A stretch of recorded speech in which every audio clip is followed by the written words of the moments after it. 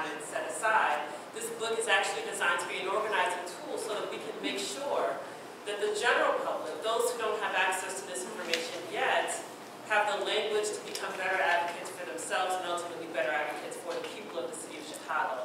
That has been the challenge that we have faced. Unfortunately, for far too long, we've simply been told what's good for the people of Chicago, we had leadership that was unwilling, unwilling really to take into account what's best for the people. And instead, we ended up with a lot of cronyism and the corruption that Professor Simpson referenced earlier in this, in this program that has, that has ruled. There are a couple of fundamental economic principles that are at play here that really undergird all of what's, what's characterized in this book, and then I'll talk a little bit more about the public bank. So number one is that there is simply not enough revenue people are not making enough money. So right now we have this fight for 15, and you may have heard people criticizing and saying, well, you shouldn't get $15 if you're flipping burgers at McDonald's. While that person probably makes, say, $55,000, $60,000, whatever job they have. We have to tell them, you should be asking why your salary is not higher. Why the difference between CEO salary and the employee is 300 to 1 in the United States why there is a massive transfer of wealth, where it is being increasingly concentrated in the hands of a few, while those of us at the bottom don't get the raises that we should get, especially with cost of living, who are not seeing the kind of wages for the work that we're doing. So what happens in a government, right, in the public sphere? If people aren't making enough money, they're not spending money. So things that you would buy normally, food, toiletries, whatever, day-to-day expenses, you're not spending money that you don't have. And that is increasingly true right now, as we're seeing that the little income that we do have being chipped away in the form of fines, fees, taxes, and forfeitures, which seems to be the uh, method of choice, death by a thousand cuts, the method of choice by our administration. The other principle that's very key, and this goes back to the corruption piece, Public bodies are not revenue generating mechanisms. They're not. They are taxing bodies. So that means that they can only collect what they get in taxes. And those taxes have to be consonant with the services that you're supposed to receive. Now, if you live in a neighborhood like mine, I live in Garfield Park on the west side of Chicago. There are many, many services that I simply have not seen, right? But I still pay my taxes. So when you have issues of corruption, and mismanagement, unfortunately the money is gone.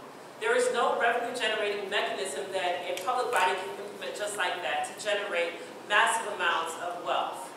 Unless you go to what we were talking about with financial transaction tax and progressive income tax and those, those things we have now. But it still doesn't get away from the fact that ultimately the corruption causes a massive waste of money.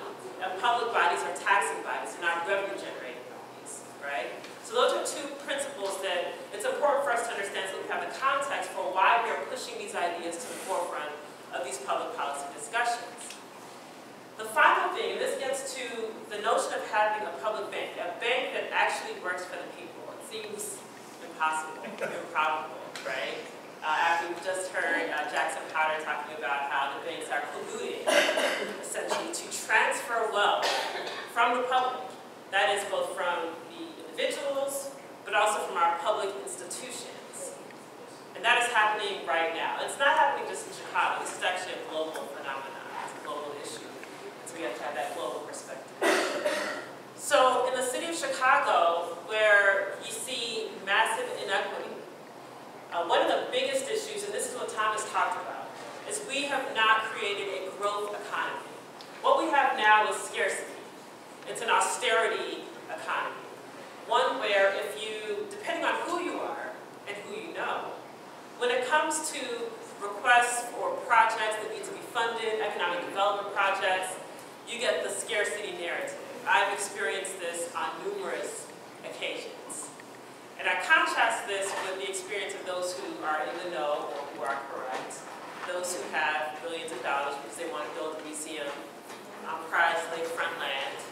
And so all of a sudden, imagination kicks in, right?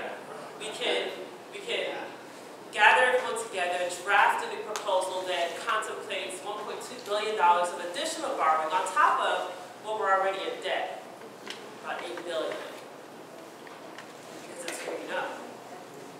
But for me, when I put forth some smaller scale economic development projects in different areas of the city, the response is always, well, we really don't have money. Your TIF is empty. Or those TIF dollars have simply been ported to another TIF to fund the Mariano's or the latest Starbucks or some other national company that is benefiting from the tax dollars we're not seeing. And so a public bank actually gets to that issue in a variety of ways. The biggest, by far, is in interest rates on infrastructure projects. So infrastructure is everything from transportation, the water and sewer system, to which you will not be paying an additional tax on to fund. Uh, roads, all of those big infrastructure projects. Typically, cities, and this is across the country, pay about 40 to 50 percent over the original cost just in interest rates to major financing, financial institutions who have those deals to finance those infrastructure projects. So if you had a project that was $2 billion, now we all know that never, no project ever goes according to budget. They always, almost always go over. So if you have a $2 billion project, tack on another 1.5 billion. just in interest rates. And then I'm not even counting, you know, if it was, if there was some corruption or cronyism in there, the additional that you would tack on.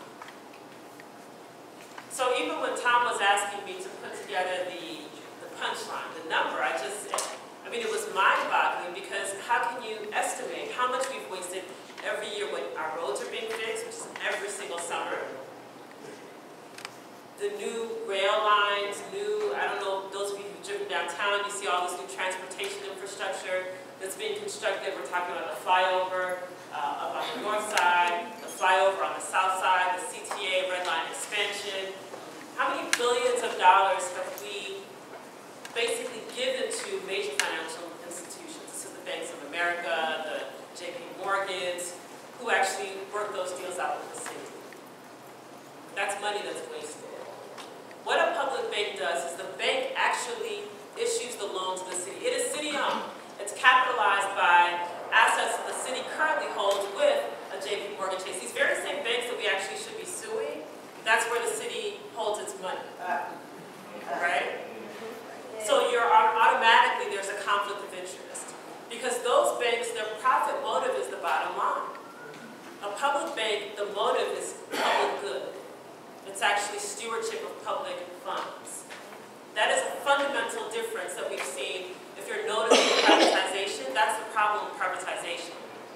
You're pitting the public good against a profit motive. The public always loses out. This is how we get parking meter deals and all of these other deals that have gone through where the city's actually losing money on those deals. So if you think about that, it's fully funded by taxpayer dollars, capitalized by taxpayer funds that we currently hold in other banks. So we can actually shift, especially those liquid assets, to a public bank to capitalize it. So it doesn't take a massive infusion of $100 billion. It's actually assets that we already hold elsewhere. They can then issue low-interest loans for those infrastructure projects, which means that we're not paying an extra 1.5 billion on a $3 billion project, right? That money stays within the city's coffers. So we're saving massive amounts of money. The other, two other uh, categories that the public bank is absolutely crucial, small business loans. We talk about how everyone likes to talk about small businesses are the lifeblood of the economy. You hear this from every politician. They'll say, we love small businesses, they're the lifeblood of the economy. I work with small businesses on a day-to-day -day basis. So one of the hats that I wear is uh, managing a chamber of commerce in the Austin community. and the biggest issue that we get is business owners, entrepreneurs getting access to capital. You need access to capital to buy equipment, sometimes to expand, to get more space. Wanted to take your business to the next level, and what happens is they go to traditional financial institutions and they get turned down. If you are in a community, for example, on the west side, on the south side, where redlining was and is the norm, then you know the challenges with getting capital. Those challenges still exist. So as we're talking about the need to create a growth economy, a growth economy is an economy in which people can get access to capital so that they can start businesses. What happens when they start their business? They can hire locally. What happens when you hire locally? Now people actually have jobs. And hopefully we're paying them at least $15 an hour, right? What does that mean? That means more money to spend. What does that mean? Now we're actually able to pay whatever taxes, you can pay your tickets, even those things. When you have money to spend, you can actually pay for those things. Right now we don't have it. And so the small business, small business growth is absolutely essential. We do a lot for large corporations. They already get tax incentives. Unfortunately, a lot of them get access to TIF dollars. Uh, when other projects that are more locally focused, you get those dollars. But with small businesses, you actually create an environment of growth. The other is home loans. We had in 2008, I was actually working in the mayor's office in the previous administration when the housing crisis hit. This is 2007, 2008. And people were simply underwater in their homes. I looked in neighborhoods where you had vacancy rates, maybe one or two houses on a block. I've worked in communities on the south side where you have broad swaths of land, where a lot of those homes are fast-track demo, so they don't even exist anymore, just open land. What would have happened if people had access to home loans, low-interest home loans that could help them stay in their home, or even purchase a home? The city put together a couple of programs, one is called NSP, and it was designed to get people to rehabilitate these homes. Well, how can you rehab homes if you don't have any buyers? If you don't have people who actually have access to capital where they can move into the home? So a lot of those homes sit vacant. What happens when homes are vacant? You're not getting property taxes from those properties. So as we've seen the largest decline in population, 200,000 between 2000 and 2010, that's property tax dollars leaving the city. That's the city's revenue leaving. So when our population constricts, it means we actually can't collect as much in revenue so that we can make sure that the city is fully funded. This is why a growth economy is absolutely necessary. So access to home loans. Now, if you're like me and spent a lot of time in school, and you get that call from Sallie Mae or whoever, student loans. Many of my colleagues, my peers, are in trouble with their student loans. This is huge. Everyone sort of bought into the narrative of going to college. They did what they were supposed to do. The loans were there. And now that's the next bubble after the housing crisis. It's actually student loans, and it might actually be worse. I think it's somewhere with a trillion dollars right now. So now we're not just talking about the present, we're talking about the future. We're talking about the individuals that should be entering our workforce, who we would hope would have the ability to actually find jobs, to buy homes. If you'll notice what's happening in the economy, many of them are going back to their parents' house. I mean, this is late 20s and 30s. They're going back to live with their parents. If you're paying $2,000 in student loan payments per month, and you're living in the city of Chicago, and maybe you own a property, do people start families in that environment? Do people feel stability? Is there stability in that environment? It isn't. So the economy continues to constrict. A public bank actually addresses all of the elements that create a growth economy. It is a fundamental shift in direction. What we've seen in the past, you might have, if we've talked about, I ran on the financial transaction tax. I ran on worker-owned cooperatives. These things that are markedly different from the economy that we now have. And in the past, in previous years, you always ran into people who said, well, that's impossible. Oh, you can't do it. Oh, it's going to take the state and the country and national level. And there was always that impossibility narrative. Well, now as people are seeing their property tax bills, they should have received at least, I think, at least one, one of the best ideas that our elected representatives have put forth are taxing the roads. I don't know, what was that tax that, I think it was Cullerton, put forth about taxing the mileage on the road to pay some flat rates. These are the best ideas. Now, what I've had the opportunity to do over the last years, I've been in meetings where we're talking about revenue options for the city. And the conversation is around, how do we save, how do we generate an extra fifty thousand? Hmm, an extra hundred thousand, oh, if we, I mean, there's some ideas that have been frightening. And these are your elected officials. And then it's the lack of openness. So now is an opportunity to shift the narrative. We actually don't have the luxury of the impossibility narrative. Because what does the future look like? The future looks like the continued displacement of residents who live in the city. The future looks like if you don't make at least two hundred thousand dollars, it doesn't make sense to live in the city. The future looks like ten people in my network who've moved to Texas in the last year. The latest one left last Wednesday. Why? They have young children.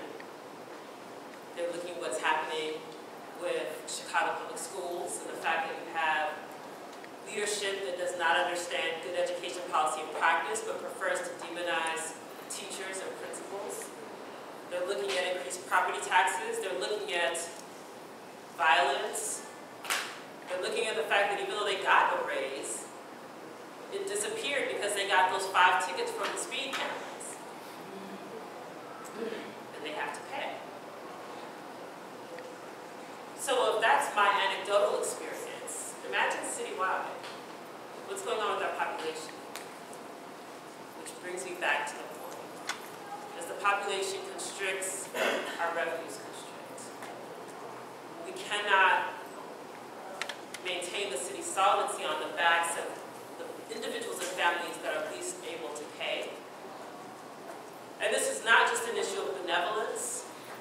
This is about sound economic principles. This is not us saying, well, we're imagining a utopia. This is actually about finally moving toward good economic policy and not just political expediency. So we have an opportunity to do that. And with these ideas, those in this book, the idea of a public bank, we can push legislation. I've had the privilege of working with people in Springfield to push legislation on a public bank, on financial transaction tax, on a progressive income tax. This is the environment now where we can do that. And we have to be unapologetic about it also. I think there is this notion that, that people are dreamers or your, your head is in the clouds and that you're not realistic. And sometimes there's a temerity or being timid about owning the ideas that we believe can actually change the direction of the city. We have to be just as unapologetic about these ideas as they are when they're levying their next tax, when they're giving out their next handout, when they're siphoning those TIF dollars, porting them from neighborhoods like mine downtown. They're very unapologetic. And they know what they're doing. But we also know what we're doing. And now we have the tools to arm people with the language so that we amplify the conversation we're having in this room citywide and do it unapologetically.